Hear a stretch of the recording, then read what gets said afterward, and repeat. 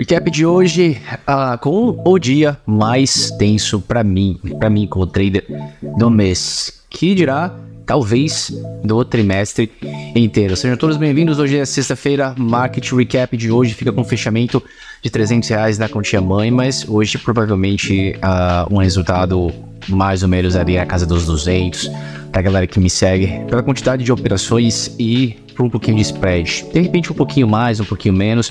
Um ponto importante, tá?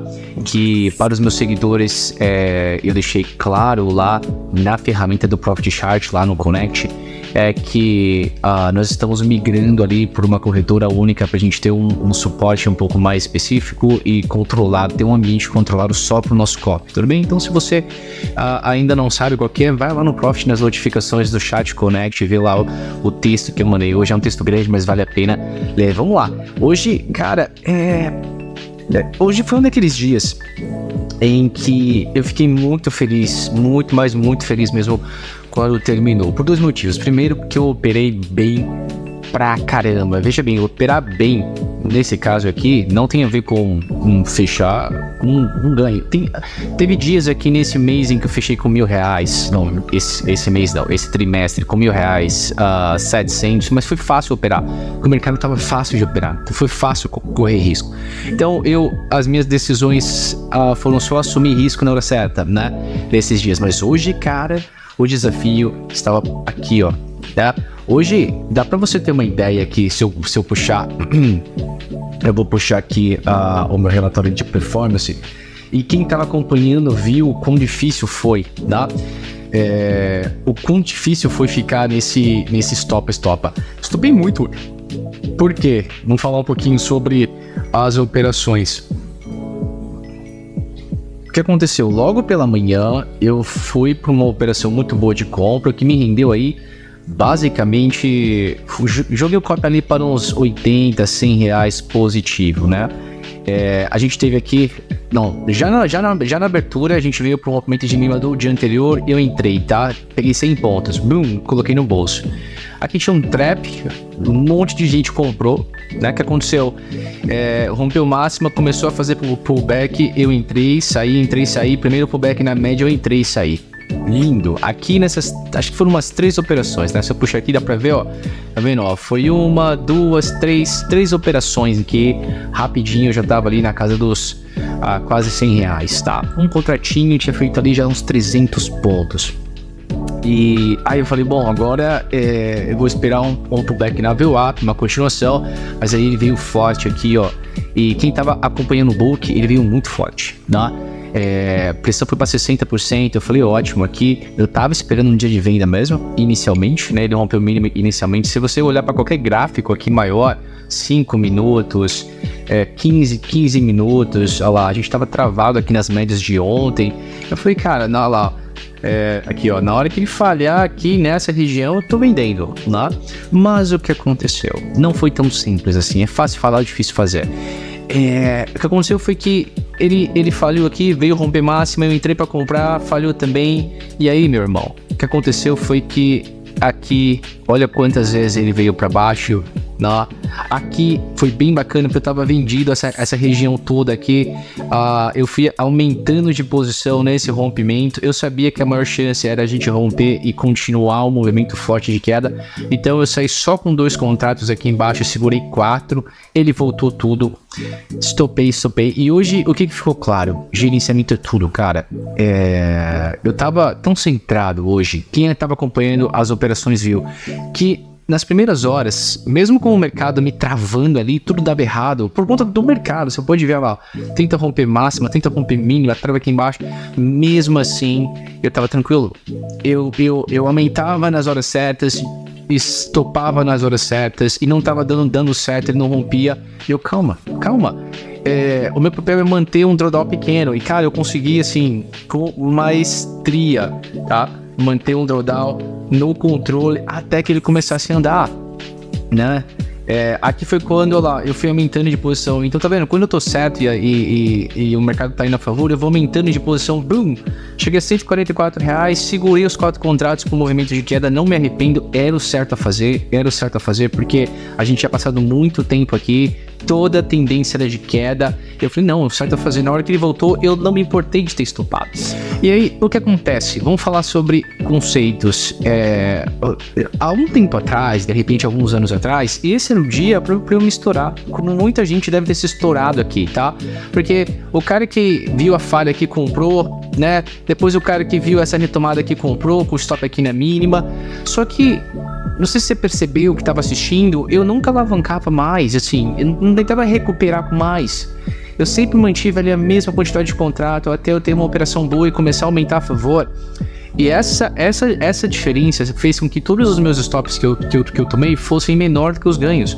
E aí, quando ele começou a andar bem, ó, tá vendo que tá muito parecido? Quando ele começou a andar bem, eu comecei a vender legal e comecei a jogar uh, o copy para cima. Uma vez ontem me perguntaram sobre a questão desse copy ser o melhor da Anilógica, né? Esse copy é o melhor não é porque ele tem um resultado muito bacana. Não é, não é nem isso. Se eu, se eu colocar um mensal aqui, quando eu falo de ser o melhor copy, não é isso. Quando eu falo de ser o, o melhor copy, é que no pior dia, no dia mais tenso para o operador, no pior dia, quando tudo tá errado, você viu como é que o gerenciamento eu seguro bem ali?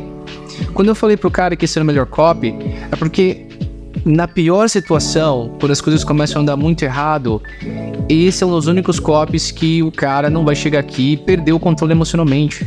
Agora, se o cara opta e de repente, não, você acha, ah, mas o copy do, do fulano tá ganhando mais, tudo bem, vai pra lá. Porque no dia que as coisas não derem bem pra esse cara, ou a grande maioria das pessoas, é quando você realmente conhece o cara que tá aqui no controle. Então, é, ser o melhor copy não é só ter o melhor resultado, é ter o melhor resultado sempre, a médio e longo prazo. Hoje é só um dia. Ontem foi só um dia. Essa semana é só uma semana. É uma semana de 0 a 0. Tivemos dois dias de losses, é uma semana de 0 a 0. Mas eu sei que numa perspectiva de 3, 4 meses, é só um dia.